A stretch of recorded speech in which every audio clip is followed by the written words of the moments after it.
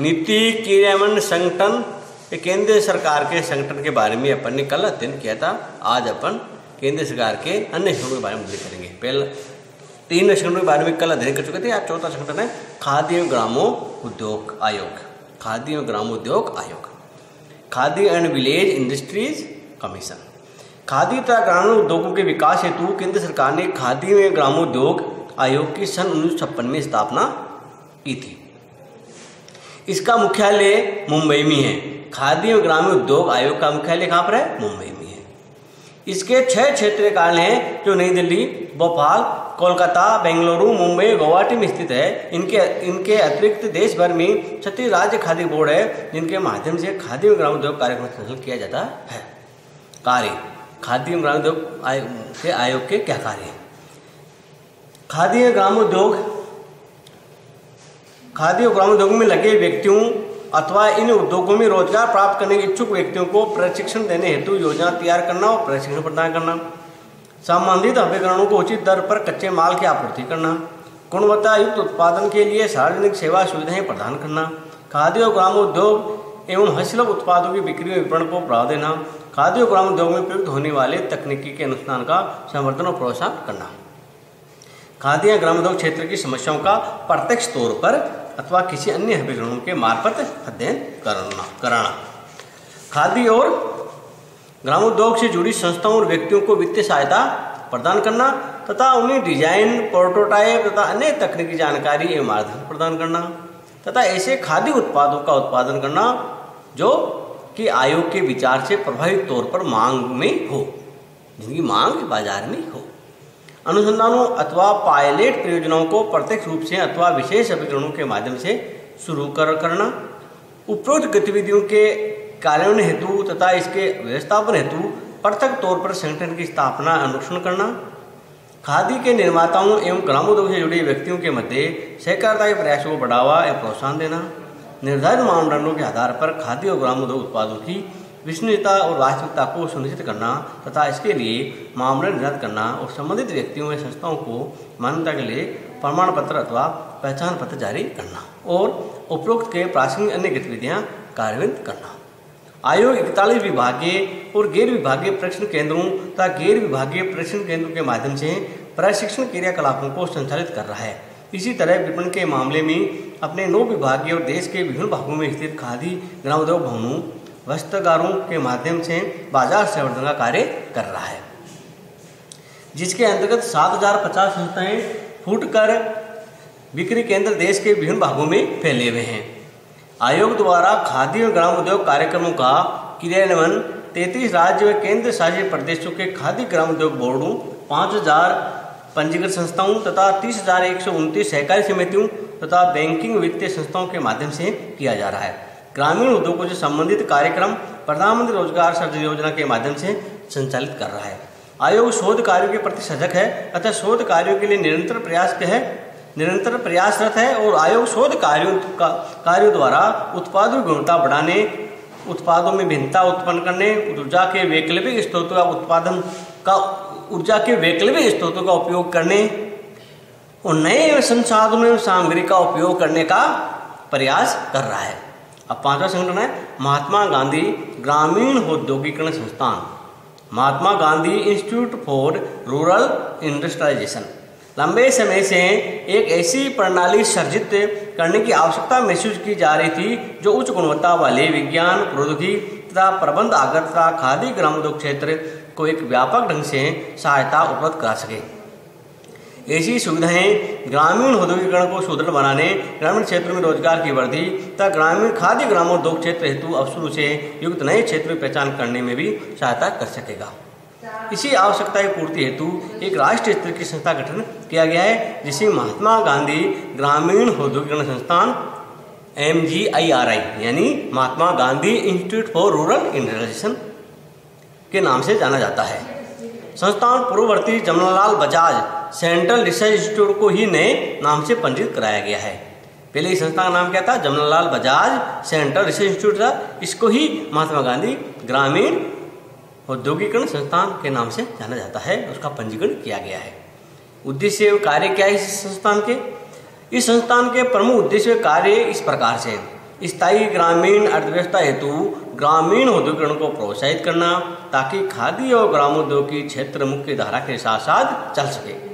ग्राम स्वराज्य हेतु पेशेवर विशेषज्ञों को आकर्षित करना, परंपरागत कारीगरों को सशक्त बनाना, परीक्षण अध्ययन स्थल परीक्षण के माध्यम से नवाचार करना, स्थानीय संसाधनों का उपयोग करते हुए वैकल्पिक प्रौद्योगिकी हेतु अनुसंधान एवं विकास कार्य करना। गतिविधियाँ एक्टिविटीज़ क्या है इसकी? इस संस्थान की गतिविधियाँ निम्नलिखित छह भागों विभागों द्वारा संचालित की जाती है। पहला, रसायन आधारित उद्योग विभाग। दूसरा, खाद्य एवं वस्त्र विभाग। तीसरा, जैव प्रशिक्षण उद्योग विभाग। चौथा, ग्रामीण ऊर्जा एवं आधारभूत संरचना विभाग। पांचवा, ग्रामीण शिल्प एवं अभियांत्रिकी विभाग। और छठा, प्रबंध प्रणाली विभाग। नारियल जटा बोर्ड कोईर बोर्ड। अब छठा बोर्ड, छठा केंद्रीय संगठन कौन सा है? नारियल जटा बोर्ड। इसको अंग्रेज़ी में कोयर बोर्ड भी बोलते हैं।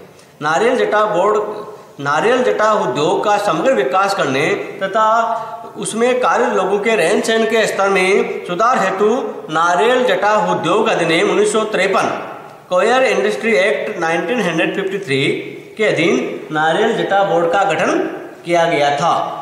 इस का बोर्ड के प्रमुख उद्देश्य कार्य निम्नानुसार है। पहला, श्रमिकों श्रमिकों बिना हटाए विस्थापित के उपयुक्त प्रौद्योगिकी के माध्यम से उत्पाद संरचना का हादुन करना। प्रसार व प्रसार की गतिविधियों द्वारा घरेलू बाज़ार में नारियल जटा उत्पादों के निर्यात को प्रोत्साहन देना। विदेश में बाज़ार संवर्धन उपायों के माध्यम से नारियल जटा उसमें नवीन उत्पादों के निर्यात में वृद्धि करना। प्रक्रिया में सुधार, उत्पाद विकास विविधता का एवं अति श्रम की सम्मानित समाप्ति अति श्रम की समाप्ति और प्रदूषण में कमी इत्यादि जैसे अनुसंधान विकास गतिविधियों को प्रोत्साहित करना। प्रशिक्षण के माध्यम से कुशल मानव संसाधन विकास करना, कार्य क्षेत्रों पर प्रदर्शन के माध्यम से अनुसंधान विकास निष्कर्षों का प्रचार प्रसार करना। सभी नारियल जटा उत्पादक राज्यों से संबंधित राज्य सरकार के सहयोग से नारियल जटा उद्योग का विकास करना। अब नेक्स्ट संगठन है राष्ट्रीय स्तर के प्रशिक्षण संस्थान। नेशनल लेवल ट्रेनिंग इंस्टीट्यूशन केंद्रीय सरकार ने सुलभ उद्यमिता, प्रशिक्षण, मानव संसाधन विकास हेतु राष्ट्रीय स्तर के तीन प्रमुख संस्थाओं की संस्थाओं की स्थापना की है, जो निम्नानुसार है। पहला है राष्ट्रीय उद्यमिता एवं लघु व्यवसाय विकास संस्थान, जिसका ऑफ़िस है नोएडा। दूसरा है राष्ट्रीय श्रम उपक्रम संस्थान, जिसका ऑफ़िस है हैदराबाद। और तीसरा, भारतीय उद्यमिता संस्थान, जिसका ऑफ़िस है गुवाहाटी। इन तीनों ही संस्थाओं के उद्देश्य एवं कार्यकलापों की विशेष चर्चा अपनी। उद्यमिता विकास में सरकारी भूमिका नामक चैप्टर में अपने पहले इनका अध्ययन कर चुके हैं। अखिल भारतीय हस्त board all India handicraft all India handicraft board हस्तशिल्प उद्योगों के विकास करने हेतु केंद्र सरकार ने अखिल भारतीय हस्तशिल्प बोर्ड का गठन किया है। इसकी स्थापना, यानी अखिल भारतीय हस्तशिल्प बोर्ड की स्थापना उन्नीस सौ अट्ठावन में की गई थी। इस बोर्ड का प्रमुख कार्य हस्तशिल्पियों को प्रशिक्षण देना, उनके उत्पादों के विपणन में सहयोग देना और देश विदेश में विपणन प्रोत्साहन हेतु प्रदर्शनियों, मेलों में मेलों में भाग लेना तथा आयोजन करना है। इस बोर्ड ने देश में हस्तशिल्प सेवा एवं विपणन विस्तार केंद्र स्थापित किए हैं। इनकी संख्या लगभग पचास है। ये केंद्र कच्चा माल, डिजाइनें उपलब्ध करते हैं तथा हस्तशिल्पियों के माल के विपणन में सहयोग करते हैं। समय समय पर बाज़ार मिलन, मार्केट मीट भी आयोजित करते हैं और जिसमें जिनसे विपणन में विशेष सहायता मिलती है, ये केंद्र स्थानीय दस्तकारों तथा विपणन संस्थाओं को विदेशों में होने वाले मेलों एवं प्रदर्शनियों के संबंध में जानकारी भी उपलब्ध करते हैं। नेक्स्ट है, निर्यात संवर्धन परिषदें। एक्सपोर्ट प्रमोशन काउंसिल्स देश में निर्यातों को प्रोत्साहित करने के उद्देश्य से कई उद्योगों के लिए निर्यात संवर्धन परिषदें स्थापित की गई है। इन परिषदों के माध्यम से आया निर्यात को बढ़ावा दिया जाता है। ये परिषदें कंपनी अधिनियम अथवा समिति पंजीकरण अधिनियम के अधीन पंजीकृत है। ये गैर लाभ उद्देश्य वाली संस्थाएँ हैं। ये संस्थाएँ परामर्श देती है, तथा कुछ कार्यकारी कार्य भी करती है। वर्तमान में संस्था को आयात निर्यात हेतु पंजीकरण संस्था के रूप में मान्यता दे रखी है। इन परिषदों के प्रमुख कार्य निम्नानुसार है। पहला, विदेशी बाजारों में उत्पादों की मांग के संबंध में सर्वेक्षण कराना। दूसरा, विशिष्ट उत्पादों की निर्यात संभावनाओं का पता लगाने के लिए विदेशों में अध्ययन दल भेजना। और नेक्स्ट, निर्यातों पर विचार विमर्श हेतु विदेशों में अपने प्रतिनिधि तथा शिष्टमंडल भेजना तथा आमंत्रित करना। और नेक्स्ट, विदेशी बाजारों में विदेशी विदेशी बाजारों से संबंधित जानकारी उद्योगों को उपलब्ध कराना। और नेक्स्ट, विदेशी क्रेताओं के विषय में माल की मांग, किस्म व मात्रा आदि की सूचना सभी पंजीकृत सदस्यों को भेजना। और सरकार द्वारा समय समय पर निर्यात नीति में किए गए परिवर्तनों की जानकारी उद्यमियों को देना।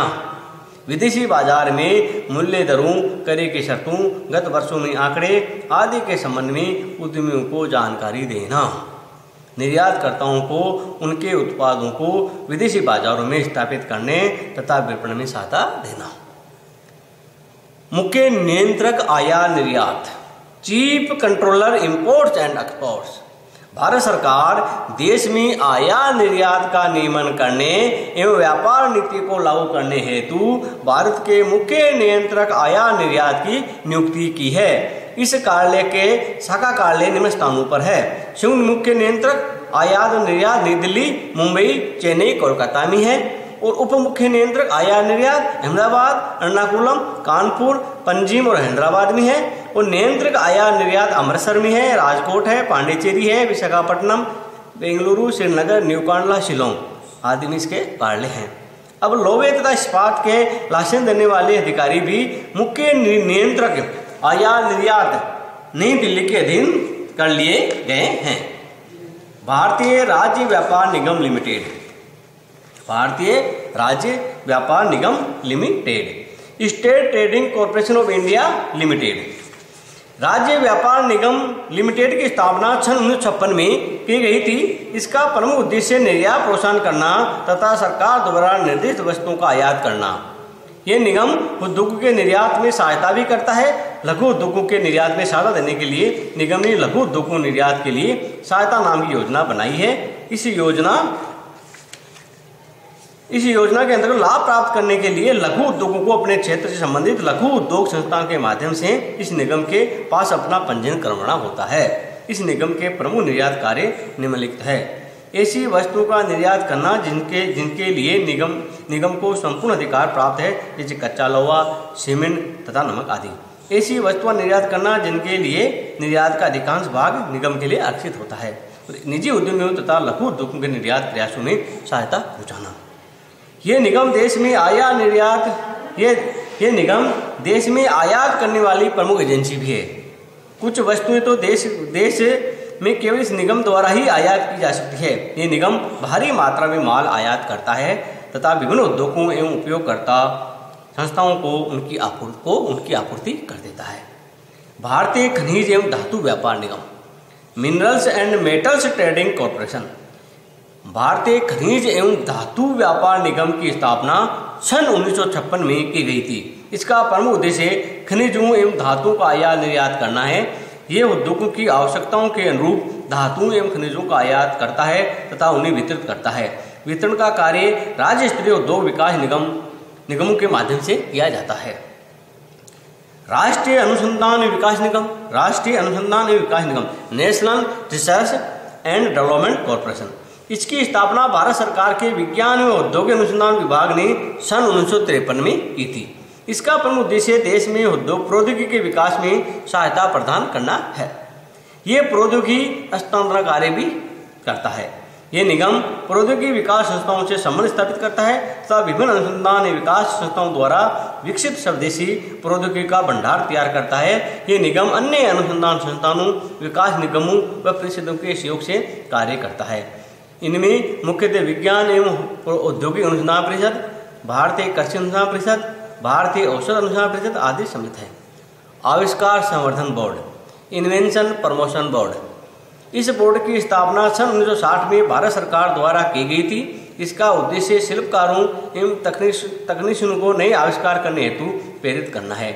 आविष्कार करने हेतु प्रेरित करने के लिए बोर्ड पुरस्कार भी देता है, जिनकी राशि पाँच सौ से पच्चीस हज़ार रुपये तक हो सकती है। राष्ट्रीय अनुसंधान प्रयोगशालाएँ तथा संस्थान national research laboratories and institution विज्ञान एवं प्रौद्योगिकी के क्षेत्र में अनुसंधान एवं विकास को प्रोत्साहित करने के उद्देश्य से देश में वैज्ञानिक एवं औद्योगिक अनुसंधान परिषद सी एस आई आर का, यानी council of scientific and industrial research का गठन किया गया था। इस परिषद के प्रमुख उद्देश्य निम्नानुसार है। पहला, देश में औद्योगिक अनुसंधान को प्रोत्साहित करना। दूसरा उद्योग की प्रौद्योगिकी संबंधी समस्याओं का समाधान करना। तीसरा, अनुसंधान को प्रोत्साहित करने हेतु राष्ट्रीय स्तर पर प्रयोगशालाएँ स्थापित करना और अनुसंधान परिणामों को प्रकाशित एवं प्रसारित करना। कार्य क्या है इसके? राष्ट्रीय अनुसंधान प्रयोगशाला विकास संस्थान क्या कार्य है? इस परिषद के प्रमुख कार्य अनुसार है। नए उत्पादों, नई तकनीकों, नई प्रक्रियाओं में गुणवत्ता के संबंध में अनुसंधान करना, प्राकृतिक संसाधनों के विभिन्न नए उपयोग ढूंढना, कच्ची सामग्री के उपयोग के संबंध में अनुसंधान करना, उत्पादन तकनीकों में प्रक्रियाओं में सुधार करना, आयातित उत्पादों का देश में ही उत्पादन करने के बारे में अनुसंधान करना, विकसित औद्योगिक तकनीकों का प्रदर्शन करना, लघु एवं बड़े उद्योगों की समस्याओं का समाधान कर उन्हें सहयोग प्रदान करना। ये उल्लेखनीय कि देश के विभिन्न भागों में छत्तीस राष्ट्रीय प्रयोगशालाएँ एवं अनुसंधान केंद्र स्थापना की गई है। ये सभी देश के औद्योगिक विकास को प्रोत्साहित करने हेतु अनुसंधान कार्यों में लगी है। भारतीय मानक संस्थान, भारतीय मानक संस्थान, इंडियन स्टैंडर्ड इंस्टीट्यूशन। ये संस्थान भारतीय सरकार द्वारा, ये संस्थान भारत सरकार द्वारा विभिन्न प्रकार की निर्मित व निर्मित निर्मित माल या कच्चे माल की गुणवत्ता को मानकों के अनुसार बनाए रखने के लिए स्थापित किया गया है। इस संस्थान ने विभिन्न निर्मित व निर्मित वस्तुओं की गुणवत्ता एवं क्षमता के प्रश्न हेतु मानक निर्धारित किए हैं। इसके अतिरिक्त संस्था उत्पादकों की क्षमता एवं गुणवत्ता के प्रश्न में काम आने वाले उपकरणों, परीक्षण विधियों एवं सामग्रियों का भी मानकीकरण करती है। वर्तमान में भारतीय मानक संस्थान ने दस हज़ार से भी अधिक मानक निर्धारित कर दिए हैं। भारतीय मानक संस्थान उत्पादकों, निर्माताओं को मानकीकरण हेतु पंजीकरण करती है तथा निश्चित शर्तों के अधीन उन्हें अपने उत्पादों पर मानक मोहर आईएसआई मोहर लगानी, लगाने की अनुमति देती है। ऐसी अनुमति या लाइसेंस के लिए निम्नलिखित शर्तों को पूरा करना होता है। पहली, आवेदक के यहाँ माल की गुणवत्ता के परीक्षण की उचित विधियाँ अपनाई जाती हो तथा माल निर्माण के दौरान परीक्षण की पूरी सुविधाएँ हो। दूसरा आवेदक के माल के नमूने भारतीय मानकों के अनुरूप सिद्ध हो, तथा तीसरा आवेदकों ने निश्चित मोड़ लगाने की फ़ीस व लाइसेंस फ़ीस प्रति लाइसेंस पाँच सौ रुपये वार्षिक जमा करवा दी हो। लाइसेंस स्वीकृत हो जाने पर निर्माता को अपने माल पर मानक मोड़ लगाने का अधिकार मिल जाता है। प्रारंभ में लाइसेंस एक वर्ष की अवधि के लिए दिया जाता है, जिसका आगे एक वर्ष की अवधि के लिए नवीनीकरण करवाया जा सकता है। मानक संस्थाएँ सुनिश्चित करने के लिए माल पर मानक मोहर विधिवत लगी है। निम्न कदम उठा सकता है। ब्यूरो के निरीक्षकों के द्वारा लाइसेंसदारी की कार्यशाला का अक्षमाल निरीक्षण करना तथा तैयार माल के नमूनों का तटस्थ प्रयोगशालाओं में परीक्षण करवाना। मानक मोल लगा माल ब्यूरो द्वारा बाजारों से सीधा खरीद कर उसकी जाँच करवाना। उपभोक्ताओं से प्राप्त शिकायतों की जाँच करवाना तथा शिकायत सही पाई जाने पर उपभोक्ताओं सही माल दिलवाना।